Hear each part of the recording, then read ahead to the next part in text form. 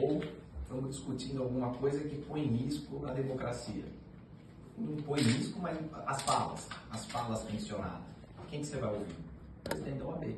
Ou seja, o nosso presidente do Conselho Federal, que é a OAB, como o próprio presidente João Paulo falou, a OAB é uma só, não existe a OAB São Caetano, São Caetano, a OAB é uma só.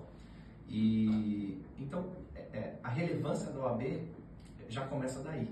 Então, esse é um desafio, porque a OAB ela, ela não pode ser politizada, não, não, não, é politizada, mas ela tem que tomar muito cuidado com isso. Político, todos nós fazemos todo dia, mas você não pode tomar um partido, você não pode ter um lado.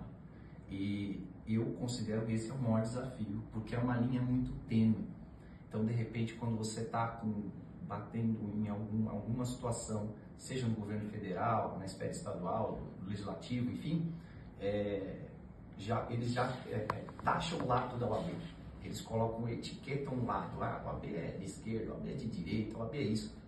Então eu vejo isso como um desafio. Aí quando você não fala, porque não é o caso, de repente, ah, a OAB está passando um pano. Então, realmente, eu acho que o desafio é, primeiro, a OAB sempre é muito exigida. E isso é histórico, isso é, é desde o do, do tempo do, dos militares, desde o tempo que nós conseguimos as dietas e, e assim vai. Mas eu acho que esse é um grande desafio, é o desafio da sociedade entender que a OAB não tem lado.